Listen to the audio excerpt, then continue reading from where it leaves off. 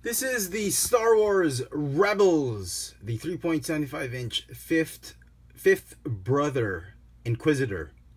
Inquisitor fifth brother. anyway, there he is. And here he is with the Grand Inquisitor and Ahsoka Tano, both of which are also figures from the Star Wars Rebels toy line, but they've actually packaged this one in the uh, Force Awakens packaging, but it, it doesn't say Force Awakens simply because it's not part of the movie line, it's the Rebels line. So here we go. So great, great figure. It's a fantastic sculpt with very nice paint apps. The details of the paint apps, there's a little bit of uh, of some paint issues like the red on his armor sometimes are misaligned. The silver, like as, as on my copy, they're misaligned.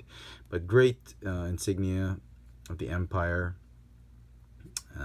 Galactic Empire, whatever. Uh, great paint apps on his hat. Kind of looks like um, Embo. Uh, great paint apps on the hilt of the lightsaber. Overall, just fantastic scheme of the paint apps but with just a little bit of issues. I can see fingerprints on his belt. several of the figures I've seen, there's a lot of, like somebody touched it too early. So great details, got these shiny Wellington boots, uh, forearm uh, bracelets or gloves, whatever you, call those. Uh, pauldron hat, the overall armor, very, very nice.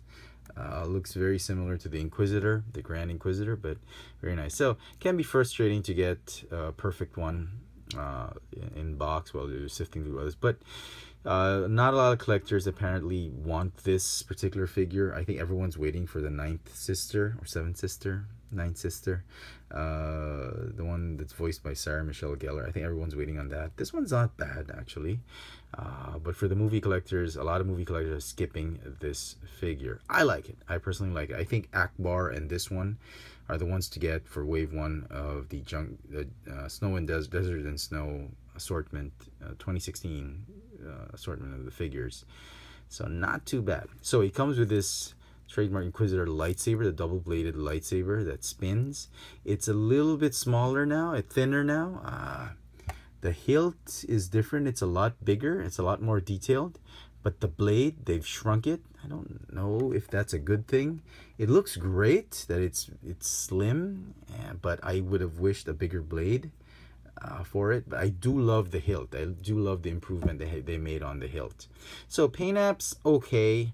Uh, sculpt, great. Articulation, ball jointed neck, swivel shoulders, and swivel legs. That, that's it. Hips. That's all you get. But I am biased about this figure. I think it's cool. I think it'll be great on your Rebel shelf. I'm going to give it a 9 out of 10. Uh, very close to 10 over 10. Um, but I, I, do like it. Uh, I think it's something you, worth picking up on retail. Uh, but if you can wait for it on clearance, by all means do so. Now he comes with the third and last component of this ridiculous backpack uh, from Ackbar and from Tasu Leech. So I'm guessing this one goes right here. That's what the instruction says. And it's a pretty badass weapon. I actually like it. Uh, but the backpack, I think, is just crazy. It, it kind of looks like one of those things on Centurions. Power Xtreme. Wow, that's one badass Inquisitor. Anyway, uh, great, great figure. I hope you, you know, it's it's a fun figure to get. Um, be, look great on your Rebel shelf. Um, some improvements on it.